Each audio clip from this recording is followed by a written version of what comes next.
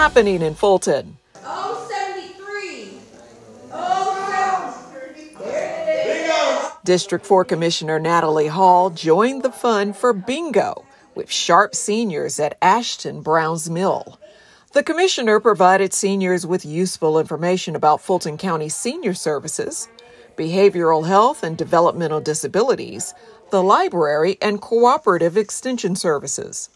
My District 4 team and I are here at the Ashton Brown Mill Senior Living Facility to play bingo with our seniors, but more importantly, to provide information to them about the programs and resources that Fulton County offers them.